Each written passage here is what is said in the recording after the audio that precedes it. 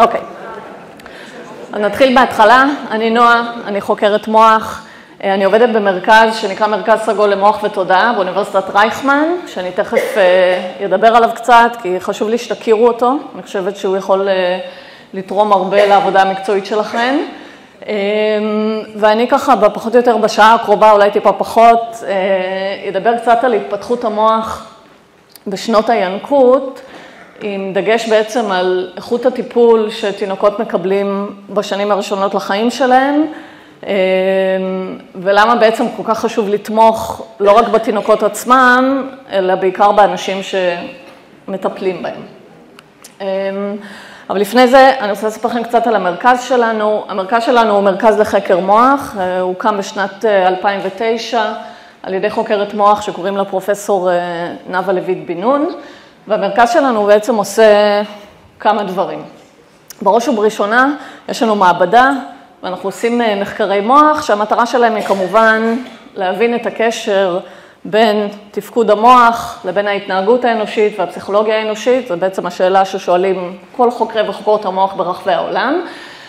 שאלות המחקר הספציפיות שלנו מתעסקות בנושא של רווחה נפשית, מה שנקרא באנגלית well-being, ואנחנו בעצם מנסים להבין איך כל מיני פרקטיקות ותרגולים שמאמנים את המוח, עוזרים לנו בעצם לשמור על המוח בריא, מתוך הבנה שהיום כבר אף אחד לא מתווכח איתה, שיש קשר הדוק בין בריאות המוח לבריאות הנפש לבריאות הגוף, כן? זה מין משולש כזה, מוח, נפש, גוף, וכל הדברים האלה מחוברים אחד לשני, ואנחנו מבינים היום שככל שהמוח שלנו יותר בריא, גם המצב הפסיכולוגי שלנו יותר בריא, ואנחנו גם יותר בריאים מבחינה גופנית, וספציפית, אחד הכלים שאנחנו חוקרים, זה כלי שנקרא תרגול מיינדפולנס, שאני מנחשת שרוב האנשים שיושבות פה שמעו עליו, אז אנחנו בעצם חוקרים את ההשפעות של התרגול הזה על המוח.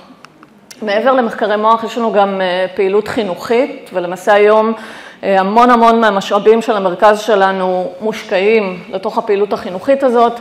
יש לנו תוכנית שנקראת תוכנית בית ספר סגול, וזו תוכנית שבמסגרתה אנחנו בעצם מלווים בתי ספר לאורך שלוש שנים, ומביאים לתוך בית ספר שילוב של ידע משלושה תחומים, קודם כל ידע מחקר מוח, באים, מספרים למורים על המוח, מביאים את הידע העדכני ביותר, ועובדים יחד עם המורים והמורות בשביל להבין איך הידע הזה מחקר המוח, או מה הוא אומר לנו בעצם על האופן שבו שיעור צריך להתנהל, בית ספר צריך להתנהל וכולי. אז ידע מחקר מוח, יחד עם פרקטיקות של תרגול מיינדפולנס, יחד עם פרקטיקות של למידה חברתית רגשית, כשהמטרה היא בעצם לעזור לבית ספר להיות מרחב שתומך בהתפתחות של כל מי שנמצא בתוכו, כמובן התלמידים והתלמידות, אבל בעיקר המורים והמורות, סליחה, מתוך הבנה שאם מורים ומורות לא יגיעו לבית ספר עם תחושה של רווחה נפשית והתפתחות ושגשוג, הם לא יוכלו לייצר את התחושה הזאת עבור התלמידים והתלמידות. אני היום בעצם חלק מהצוות המוביל של התוכנית הזאת, והתפקיד שלי הוא להנגיש ידע מתחום המוח לצוותים חינוכיים. מעבר לזה, יש לנו גם הפצת ידע לקהל הרחב, לקהלים מקצועיים, אני עובדת הרבה עם אנשים ונשים מתחום בריאות הנפש. ודבר אחרון, בתוך המרכז שלנו יש מכון שנקרא מכון מודע, שזה מכון שעוסק בהכשרות שקשורות למיינדפולנס, גם הכשרות לקהל הרחב וגם הכשרות לאנשי מקצוע. אז במסגרת הפעילות החינוכית שלנו ובמסגרת הפצת ידע, הזמינו אותי לבוא ולדבר איתכם פה היום, וכמובן שנעניתי בשמחה. אז אם נחשוב על זה רגע ונשאל את עצמנו את השאלה החשובה, מהי בעצם המשימה העיקרית של ילדים וילדות בשנות החיים הראשונות שלהם? בסדר? מה הם אמורים להשיג באותם שנים כל כך קריטיות להתפתחות שלהם? אז בעצם, לתפיסתי, המשימה הכי חשובה של ילדים בגיל הזה זה ללמוד. ללמוד הרבה וללמוד מהר, כי הם בעצם נולדים לתוך עולם חדש.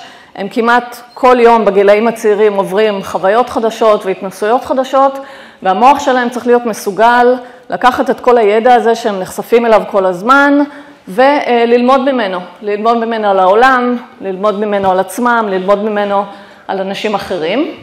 וזאת הסיבה שהתכונה העיקרית שמאפיינת את המוח בשנות הילדות, היא התכונה שנקראת פלסטיות מוחית, שמדברים עליה הרבה מאוד בשנים האחרונות. אה, פלסטיות מוחית זאת בעצם היכולת של המוח שלנו להשתנות פיזית אה, כתוצאה מהתנסויות, חוויות, תהליכי למידה, כל מיני דברים שאנחנו עוברים בחיי היום-יום שלנו. אנחנו מבינים היום שפלסטיות מוחית זה לא משהו שהוא ייחודי רק לילדים וילדות, המוח שלנו פלסטי מתקופת העוברות ועד אה, גיל הזקנה, אבל זה ברור שאין מה לעשות, הפלסטיות של המוח יורדת בהדרגה ככל שאנחנו מתבגרים, ואצל ילדים, בעיקר בגילי הינקות, יש פלסטיות מוחית מדהימה, וזה מה שבעצם מאפשר למוח אה, לספוג ידע בצורה כל כך מהירה, וזה די מדהים, כן? כשמסתכלים על ילדים ורואים באיזה קצב הם לומדים דברים חדשים, זה באמת מדהים, אבל זה הופך להיות קצת פחות מדהים כשמבינים באמת את הביולוגיה שלנו ואיך המוח שלנו בעצם אה, מנהל את כל הדבר הזה.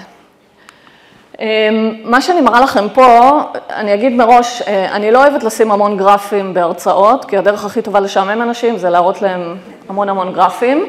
בכל זאת הרשיתי לעצמי לשים פה איזה שניים, אה, שלושה גרפים, פשוט בשביל להמחיש כל מיני עקרונות. אז הגרף הזה שאני מראה לכם פה, זה בעצם גרף שהוא גרף תיאורטי, אבל כמובן מבוסס על מחקרים, והגרף הזה בעצם מראה את היכולת של המוח להשתנות. ואת כמות המאמץ שהבן אדם צריך להשקיע כדי לחולל את השינוי הזה, בסדר? כי שוב, בתהליכי למידה אין מה לעשות, גם כשזה בא בקלות צריך להשקיע איזשהו סוג של מאמץ. אמ, אז אנחנו רואים פה בעצם על ציר ה-X את הגיל, בסדר? אז גיל שנתיים, גיל ארבע שנים וכן הלאה ועד גיל 70, ואפשר לראות בצורה מאוד מאוד ברורה שאצל ילדים היכולת של המוח להשתנות היא מאוד מאוד גבוהה, וכאמור זה הולך ויורד לאט לאט ככל שאנחנו מתבגרים, וכמות המאמץ שילדים צריכים להשקיע בלמידה היא די נמוכה, ושוב פעם, ככל שאנחנו מתבגרים, המאמץ שנדרש מאיתנו כדי אה, ללמוד דברים חדשים, כדי לחולל אה, שינויים במוח, הולך ועולה. אה, אם אנחנו שואלים איך זה נראה בפועל בתוך המוח, בסדר? היום יש לי כל מיני כלי מחקר מאוד מתוחכמים. שמאפשרים לי להסתכל בזמן אמת לתוך מוחות של אנשים ולראות מה קורה שם בפנים, גם ברמת המבנה של המוח, גם ברמת התפקוד של המוח. אז כשאנחנו לוקחים ילדים וסורקים את המוחות שלהם, בסדר? אז למשל תיקחו ילדים, והנה זה מחקר שעשה את זה לפני כמה שנים, לקחו אה, ילדים וגם אנשים בוגרים יותר, אה, החל מגיל 4 ועד גיל 22, זאת אומרת, מילדים מאוד מאוד צעירים ועד אנשים שהם כבר אה, בוגרים צעירים וסיימו את גיל ההתבגרות, הכניסו אותם לתוך מכשיר שנקרא MRI, בטוחה ששמעתם עליו, אולי חלקכם אפילו הייתם בתוכו לכל מיני צרכים רפואיים. אז ה-MRI בין שאר השימושים שלו מאפשר לי לצלם תמונות של מבנה המוח באיכות מאוד מאוד מאוד אה, גבוהה, ומאחר שזה מכשיר שהוא לא פולשני ולא מסוכן, אה, אין שום בעיה להשתמש בו בניסויים, אה, ואין שום בעיה גם להכניס לתוכו ילדים מאוד מאוד צעירים, ואפילו נשים בהיריון יכולות להיכנס לתוך ה-MRI, וזה לא מסוכן וזה לא פוגע. אז לקחו את אותם אנשים בקבוצות גיל שונות, הכניסו אותם לתוך ה-MRI, והסתכלו בתוך המוח על מה שנקרא החומר האפור והחומר הלבן. החומר האפור זה בעצם תאי המוח שלנו, והסינפסות, החיבורים בין אותם תאים. והחומר הלבן, אלה הסיבים שבעצם מחברים את תאי המוח שלנו אחד לשני, ומאפשרים להם בעצם להעביר תקשורת חשמלית ותקשורת כימית.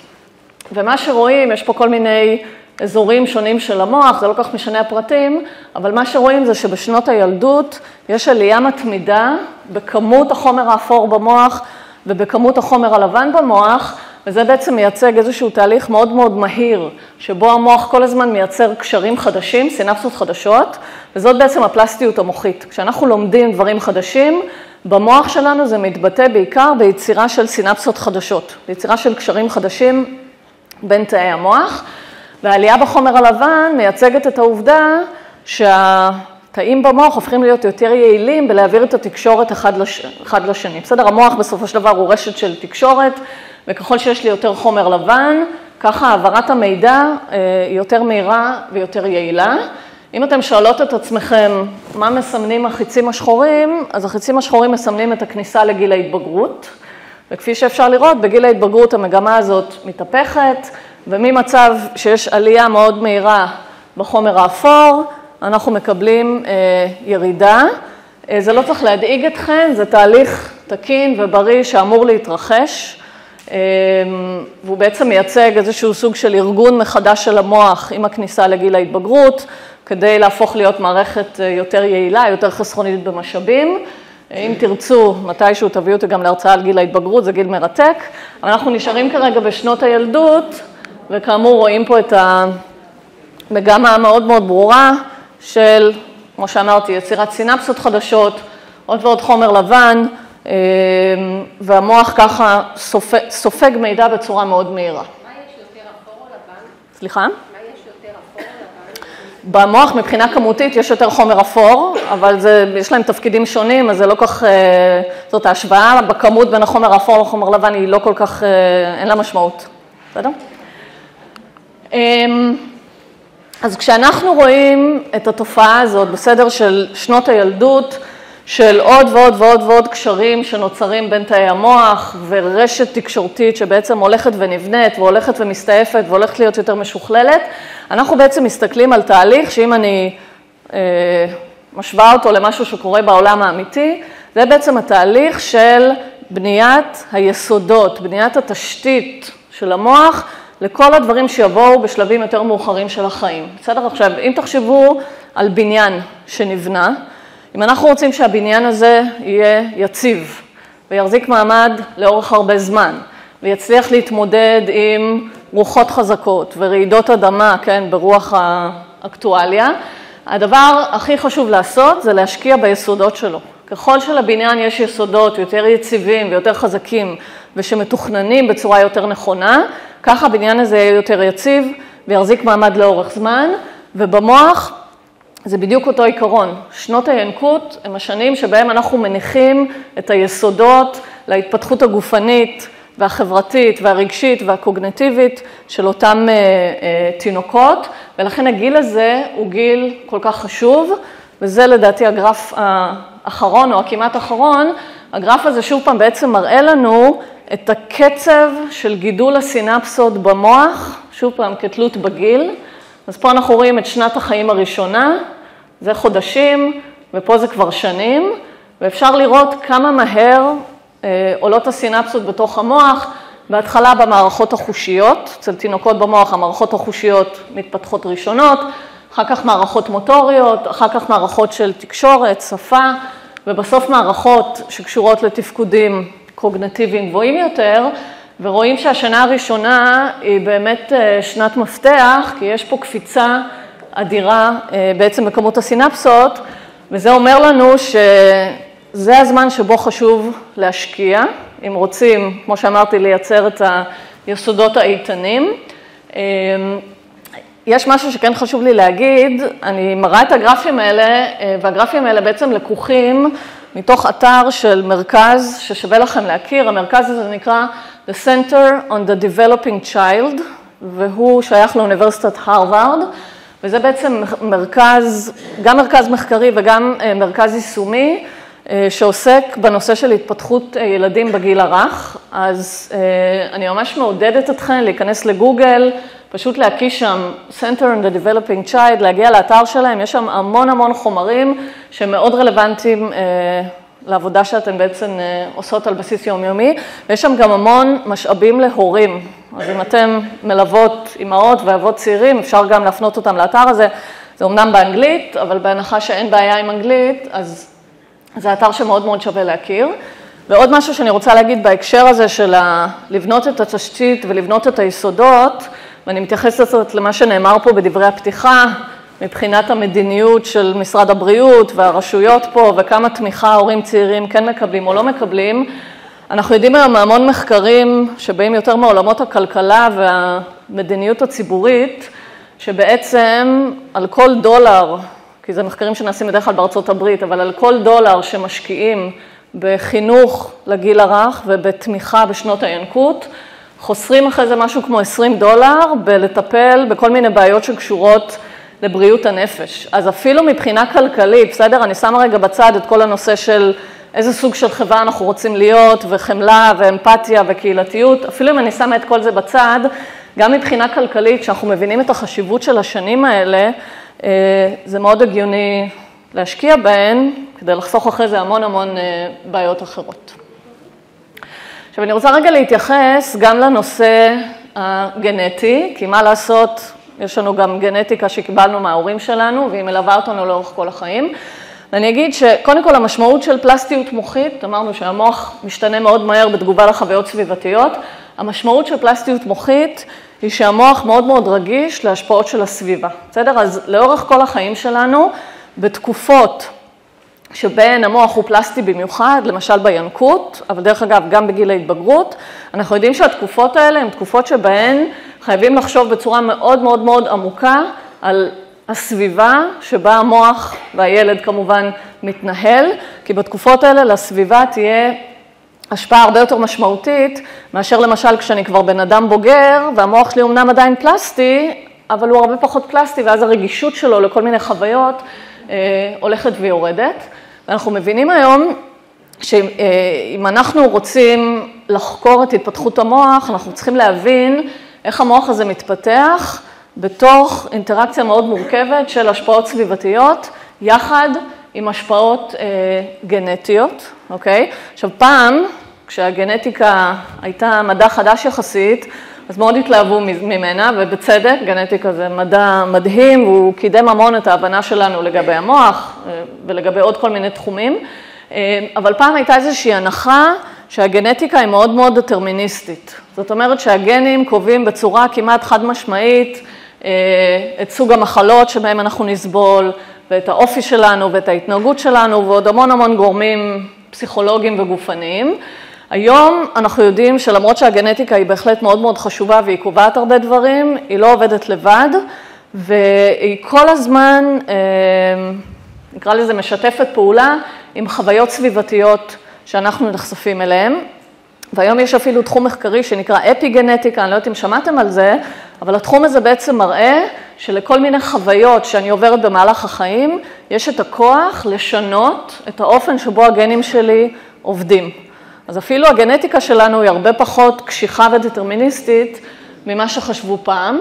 אמ, ובגלל הפלסטיות המוחית, בגלל הרגישות של המוח להשפעות סביבתיות בגיל הינקות, אז אנחנו מבינים שהסביבה שאנחנו נחשפים אליה בגיל הינקות, היא משפיעה עלינו לא רק בהווה לטווח קצר, אלא זה משהו שילווה אותנו אה, גם אל תוך הבגרות ואל תוך הזקנה, אה, ולא בכדי, אה, אני רוצה לדבר על דברים קצת מבאסים, אבל לא בכדי ילדים שעוברים בשנות הינקות כל מיני חוויות טראומטיות, מאוד מאוד קשה אחרי זה לתקן את הנזק שנגרם, והחוויות האלה הרבה פעמים אחרי זה מלוות אותם לאורך כל החיים, שוב פעם, כי זה פשוט קרה בתקופה מאוד מאוד מאוד רגישה, שהדברים האלה נצרבים מאוד עמוק, לא רק ברמה הפסיכולוגית, אלא ממש ברמה הביולוגית, בסדר? ויכולים לשנות בעצם את המוח.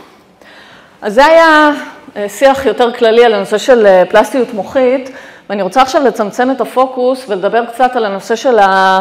היחסים החברתיים, בדגש על המטפלים העיקריים של אה, תינוקות בשנות החיים הראשונות, ולהגיד אה, שאנחנו יצורים חברתיים ויש לנו מוח חברתי, אוקיי? מה זה אומר? זה אומר שמהרגע שאנחנו נולדים, אנחנו כמעט אף פעם לא לבד, בסדר? תחשבו על הילדים שיש לכם בבית, ילדים וילדות, ותנסו לחשוב מה היה הגיל שבו הילד והילדה בפעם הראשונה נשארו לבד. באיזה גיל נתתם להם להישאר לבד? שמונה, תשע, שתים עשרה, זה משתנה. זה גם תלוי קצת בתקופה, פעם היו עושים את זה יותר מוקדם, היום קצת יותר נזהרים. אבל אם תחשבו על זה, אז ילדים בעצם, מהרגע שהם יוצאים לאוויר העולם, הם אף פעם לא לבד, הם תמיד מוקפים באנשים אחרים, והם בעצם חווים את העולם בתיווך היחסים החברתיים שיש להם, בהתחלה עם ההורים, אחר כך עם המשפחה היותר מורחבת, אחרי זה עם אה, בני הגיל, בית ספר, מורים וכולי, והמעגלים החברתיים כמובן הולכים ומתרחבים, והמוח שלנו בעצם מכוות, בנוי להיות מוח חברתי. המוח שלנו מכיל אזורים עצומים שכל התפקיד שלהם זה לעזור לנו להתנהל בתוך אינטראקציות חברתיות, לתקשר עם אנשים אחרים, להבין אותם, והצורך החברתי הזה הוא צורך מאוד מאוד עמוק, שאם לא ממלאים אותו כבר מגיל צעיר, זה מאוד מאוד פוגע בהתפתחות המוח.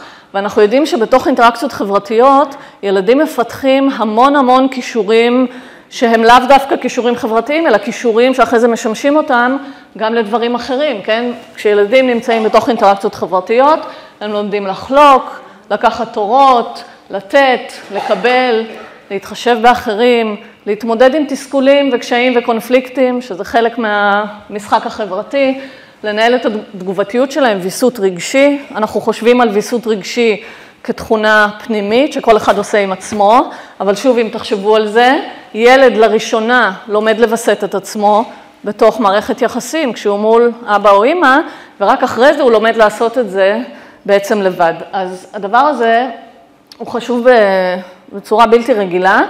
אה, ואם אנחנו חושבים על הסביבה החברתית בינקות, אז הסביבה הזאת, בדגש, שוב פעם, אני מדברת על השנים הראשונות, בדגש על הקשר עם המטפלים העיקריים, שזה, עוד פעם, בדרך כלל אבא ואימא, זה אחד הגורמים החשובים ביותר בהתפתחות ילדים. אם אנחנו שואלים מה יכול לנבא התפתחות טובה, או לחילופין, מה יכול לנבא התפתחות לא טובה, בראש ובראשונה, אחד הדברים שהכי משפיעים זה איכות הקשר אה, ואיכות ההתקשרות שיש לילד אה, עם ההורים שלו או עם אה, מטפל עיקרי אחר במצב שההורים לא נמצאים.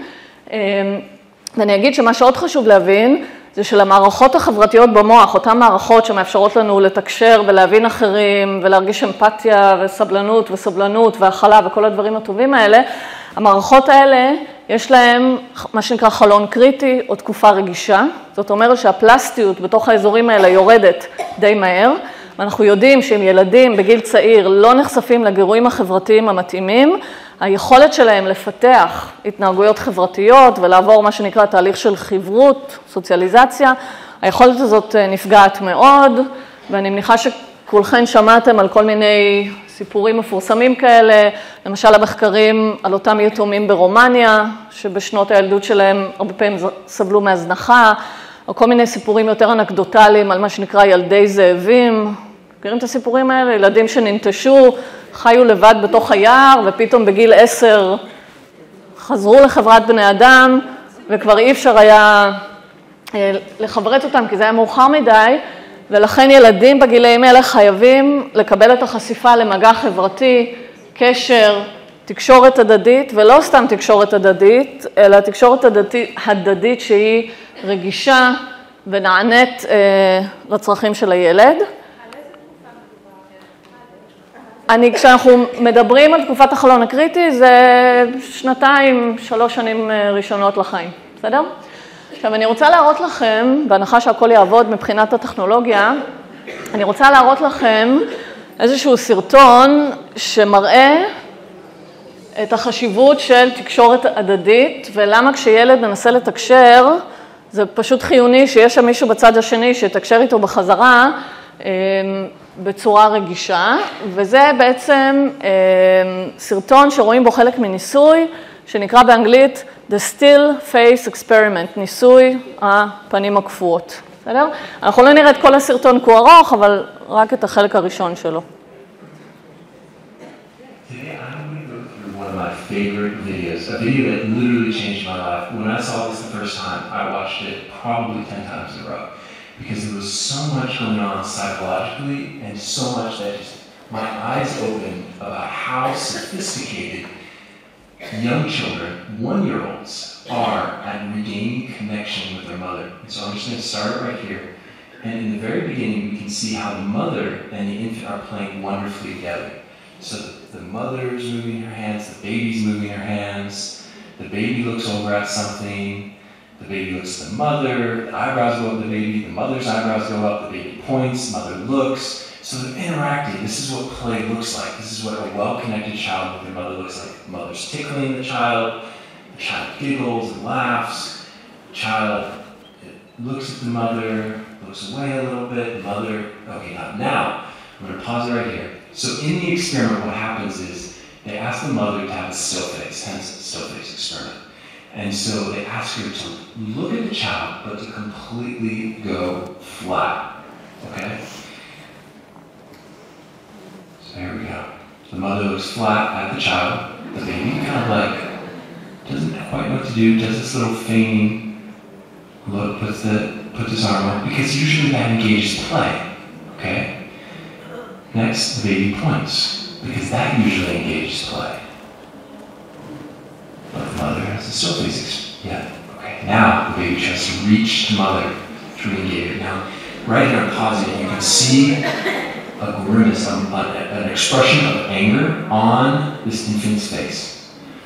And the infant is trying to reconnect, but is not able to reconnect.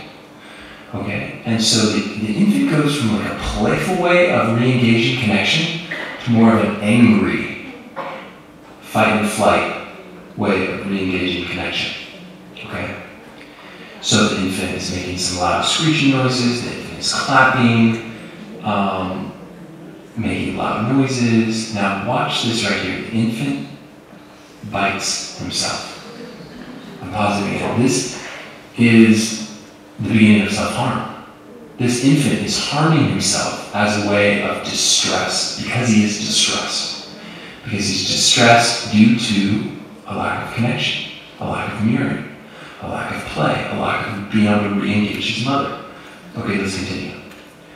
So now the infant reaches to his mother, doesn't work, so the infant starts to look away. So the infant now, his body is contorting, he's lost body posture. And it's really interesting because the baby is going from a kind of a fight and flight place to a shutdown. Okay? More of a dissociative place to a place of um, having its body be discombobulated or disoriented. So it starts by looking away, avoidance, right? And then just kind of like decelerate posturing.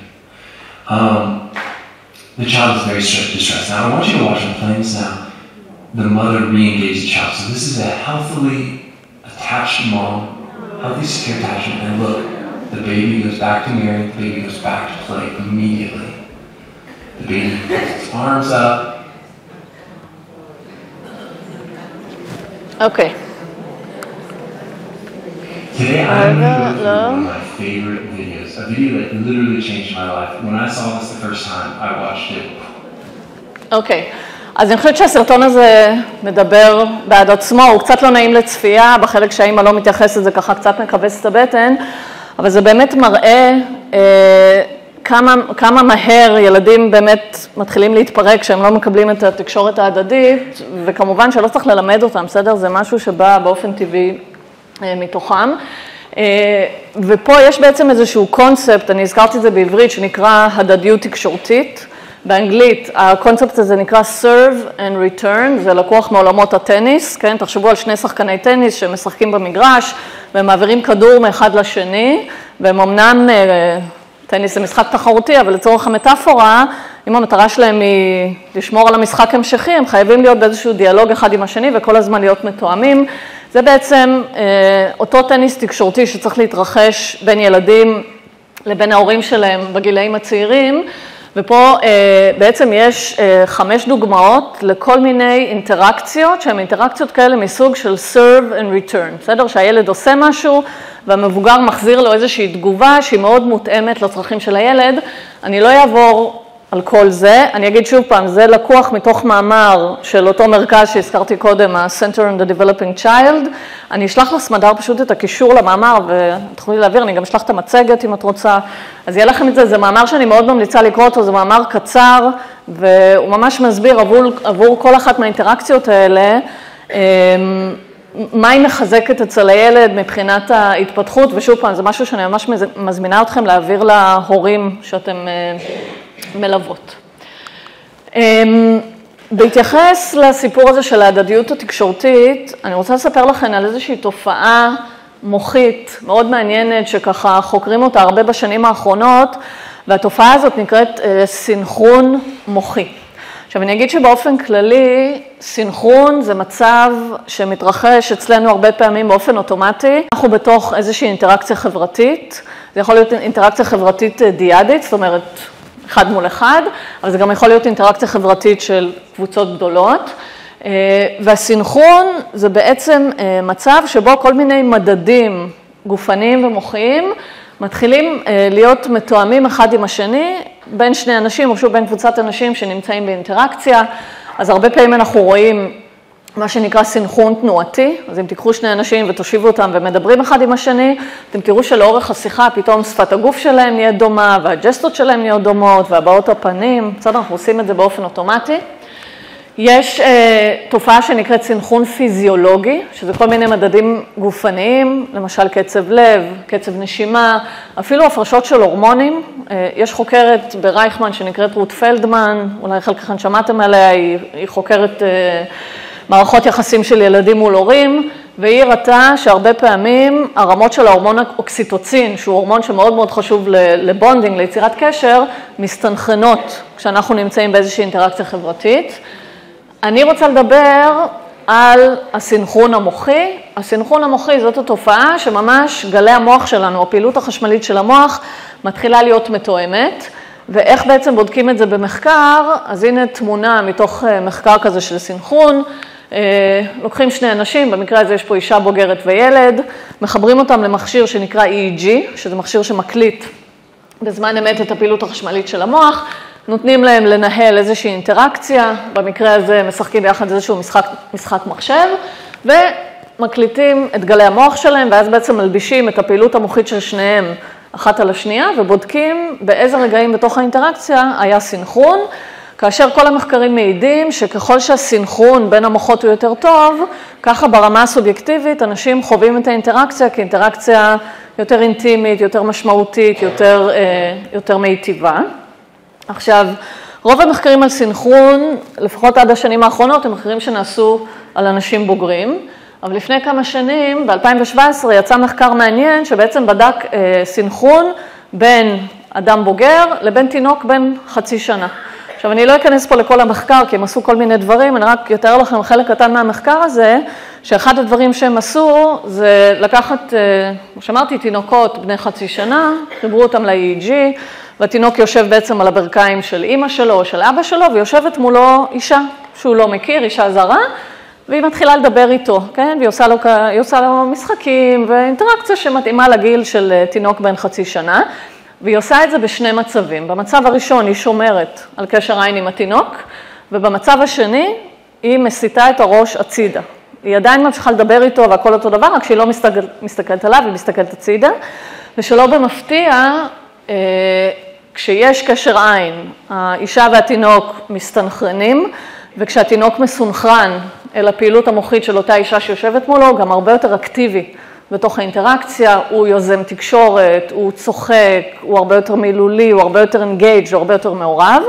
ברגע שאין קשר עין, הסינכרון המוחי יורד מאוד מהר, התינוק הופך להיות הרבה פחות מעורב בתוך האינטראקציה, והאינטראקציה עצמה היא בעצם פחות איכותית.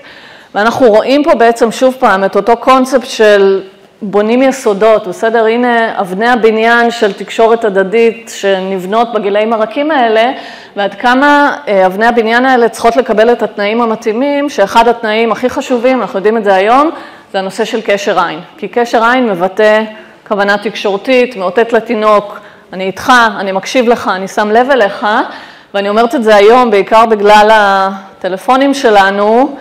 אה, ואני אני לא רוצה להיות אה, שיפוטית, אבל אני רואה הרבה פעמים הורים שהם לכאורה עם הילדים שלהם, אבל הם לא באמת עם הילדים, וילדים מרגישים את זה, גם ילדים מאוד קטנים. אז הסיפור הזה של קשר עין הוא מאוד חשוב, כי פה בעצם, שוב, אני חוזרת לנושא של פלסטיות מוחית. כל אינטראקציה חברתית עבור ילדים קטנים ותינוקות זה אימון בפלסטיות מוחית, וככל שהאימון הזה יהיה יותר איכותי, אפרופו קשר עין ורגישות ותשומת לב לצרכים, ככה התשתית החברתית של המוח תתפתח אה, בצורה יותר טובה. הדבר האחרון שאני אדבר עליו זה קצת הנושא של אה, התקשרות, attachment. אה, אז אנחנו יודעים שתינוקות בעצם מפתחים התקשרות למטפלים העיקריים שלהם. התקשרות זאת מערכת פסיכולוגית, אבל זאת גם מערכת מוחית, בסדר? היום אנחנו ממש יודעים לזהות במוח את אותה רשת של אזורים שמתחילים להיות מופעלים כשהתינוק נמצא במצוקה, והתפקיד של מערכת ההתקשרות המוחית זה לגרום לתינוק לחפש את הקרבה של המטפל או המטפלת ברגעים של מצוקה, זאת הדרך של תינוקות לשרוד בעולם, נכון? התינוק הוא חסר ישע, הוא לא יכול לטפל בעצמו, אז הדרך היחידה שלו לשרוד זה להיות מסוגל לגייס את הדמויות המטפלות המשמעותיות, בסדר? אז זו מערכת שהיא מאוד מאוד חשובה, ולמעשה, ממש ככה, בשנת החיים הראשונה, או בכמה שנים הראשונות לחיים של התינוק, המערכת הזאת היא מערכת מאוד ריאקטיבית, בסדר? היא כל הזמן נדלקת והיא מאוד משמעותית. אנחנו יודעים היום שדמות ההתקשרות, בהנחה שיש התקשרות בטוחה, היא בעצם מה שנקרא בסיס בטוח, שממנו הילד יכול לצאת ולחקור את העולם ולהתנסות בחוויות חדשות וללמוד דברים חדשים, מתוך ידיעה שתמיד יש לו לאן לחזור, אוקיי? עכשיו, אני לא יודעת אם אתן מכירות, יש חוקר שהוא גם מרייכמן, אבל במקור הוא היה מאוניברסיטת תל אביב, שנקרא פרופסור מריו מיקולינסר, שמעתם עליו? אז שווה מאוד להכיר אותו, חלקכן מכירות, הוא חוקר מאוד ידוע והוא כבר הרבה שנים חוקר את הסיפור של התקשרות גם בין הורים לילדים, גם בין בני זוג וגם, דרך אגב, בתוך מערכת החינוך, בין תלמידים ותלמידות למורים ומורות. והוא, אני שמעתי פעם הרצאה שלו, והוא אמר שם משפט, שכשמעתי את המשפט הזה נפלתי מהכיסא, כי זה כאילו הפיל לי איזה אסימון שלפני זה לא ממש ישב במקום, והוא בעצם אמר, מי שלא מסוגל להיות תלוי, לעולם לא יוכל להיות עצמאי. ולמה הוא בעצם התכוון? הוא התכוון לזה שאם ילד באמת מרגיש שיש לו תלות חיובית בהורים שלו ושההורים שלו תמיד יהיו שם בשבילו, זה מה שבעצם מאפשר לו לצאת לעולם ולהתפתח כבן אדם עצמאי ואוטונומי. ולמה אני אומרת את זה? כי אצלנו בחברה המערבית המילה תלות נחשבת למילה שלילית. אומרים לנו כל הזמן, אל תהיו תלותיים, אל תהיו תלויים באנשים אחרים, תהיו עצמאיים, תהיו אינדיבידואליים, אל תסמכו על אף אחד אחר, ויש פה איזשהו חוסר הבנה מאוד עמוק של מה מפעיל אותנו כבני אדם, ואנחנו בעצם באמת לעולם לא נוכל להיות עצמאים בלי הידיעה שיש לנו איזושהי תלות במישהו ששומר עלינו, אז כשאני תינוקת, המישהו הזה חייב להיות איזושהי נוכחות פיזית, אמא שלי צריכה להיות לידי או אבא שלי צריך להיות לידי, כמובן שכשאני מתבגרת, אני עושה הפנמה, דמות ההתקשרות, בעצם מספיק שאני אחשוב עליה וזה כבר מאפשר לי להתמודד עם אתגרים וקשיים, ואנחנו יודעים שדפוסי ההתקשרות בשלבים המוקדמים של החיים הם הבסיס לכל מערכות היחסים שלנו בהמשך, זה בעצם המודל שאנחנו משחזרים שוב פעם ושוב פעם ושוב פעם, וזה גם בונה את החוויה האישית שלנו בעולם, זה מה שקובע אם אנחנו נרגיש בעולם בטוחים ומוגנים, או שאנחנו נסתובב בעולם בחוויה שאנחנו לבד, ושאף אחד לא יכול לעזור לנו, ושאין לנו על מי לסמוך. והדבר הזה, כמו שאמרתי, הוא מלווה אותנו גם אל תוך הבגרות, ולכן דפוסי התקשרות מנבא מאוד משמעותי לרווחה נפשית, גם בטווח הקצר וגם בטווח הארוך. ואני אגיד שמתוך הרבה מחקרים אנחנו יודעים שגם מטפלים ומטפלות שהם לא ההורים, יכולים לקבל על עצמם את התפקיד של דמות התקשרות. הורים אין להם תחליף, בסדר? אני תמיד אומרת את זה, אבא ואימא זה אבא ואימא, אבל גם מבוגרים משמעותיים אחרים בחיים של הילד יכולים להיות דמויות התקשרות, ואז לילד יש כל מיני בסיסים בטוחים. אני הרבה פעמים מדברת עם, כמו שאמרתי לכם, עם מורים ומורות, ואני אומרת להם שגם בית ספר יכול להיות בסיס בטוח, בהנחה שילדים מצליחים לפתח התקשרות טובה עם המורים והמורות, וזה מאוד מאוד חשוב, וזה כמובן הופך להיות עוד יותר חשוב אצל ילדים שאין להם בסיס בטוח בבית, שיש איזושהי בעיה עם ההתקשרות מכל מיני סיבות, בסדר? חס וחלילה, מצבים של הזנחה, התעללות, קשיים בבית, הורים, לא יודעת, אני לא רוצה ללכת לתסריטים השחורים, אבל באמת הדבר הזה הוא חשוב באוכלוסיות שלא בהכרח מקבלות את הבסיס הבטוח בבית. אני קצת מדלגת קדימה, כי הזמן שלי הולך ואוזל ויש לכם אחרי זה עוד הרבה פעילויות. אני רוצה לסיים ולספר לכם על מחקר שאני מאוד מאוד אוהבת, והמחקר הזה בעצם מתחבר ישירות למה שהעמותה עושה. המחקר הזה הוא מחקר שהתחיל בשנות ה-80 והוא נמשך כ-30 שנה, זאת אומרת הוא הסתיים, אפילו יותר, הוא נמשך משהו כמו 40 שנה, הוא הסתיים לפני איזה עשר שנים, משהו כזה. והמחקר הזה נקרא מחקר קינגסטון, הוא נערך בג'מייקה, קינגסטון היא עיר הבירה של ג'מייקה. אני רק אגיד שכשאנחנו חושבים על ג'מייקה, אז ישר מעלה לנו אסוציאציות של חופש, כן, נוסעים, שוכבים שם על חוף ים עם שייק אננס ביד או מה שזה לא יהיה. אז זאת החוויה שלנו כתיירים, אבל ג'מייקה היא מדינה מאוד מאוד ענייה, ובשנים האחרונות גם היו שם כל מיני אסונות טבע, טייפונים והוריקנים, אז המצב שלהם נהיה עוד יותר גרוע, ומה שאתם רואים פה זה חלק מעיר הבירה, בסדר? אתם רואים, זה ממש שכונות, פחונים, ואנשים חיים שם בעוני מרוד.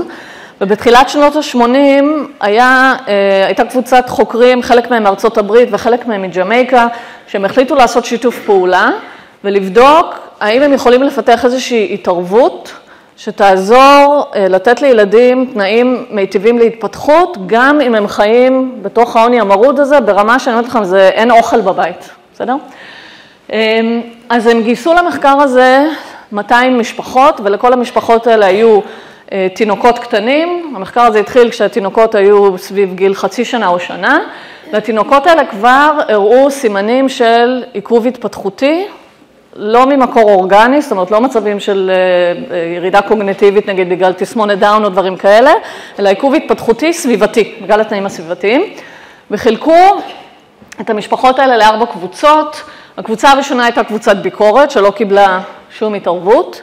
הקבוצה השנייה קיבלה התערבות תזונתית. זאת אומרת, פעם בשבוע שלחו להם כל מיני תוספי מזון, במטרה לבדוק האם שיפור איכות התזונה של אותם תינוקות ידחוף אותם בעצם קדימה.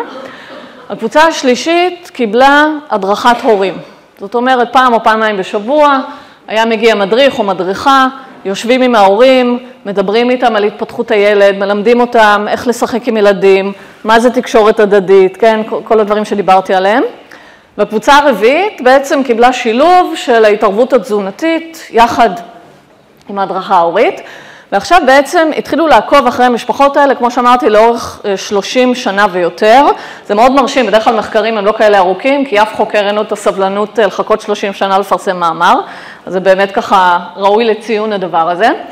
וככה היו חוזרים על המשפחות האלה בהתחלה פעם בכמה חודשים, אחרי זה פעם בכמה שנים, ודוגמים את הילדים על כל מיני מדדים, גם מדדים של התפתחות גופנית, אבל בעיקר מדדים של התפתחות פסיכולוגית, למשל מבחני IQ, ציונים בבית ספר, הסיכון של הילדים האלה היו סימפטומים של דיכאון, חרדה, תוקפנות, אוקיי?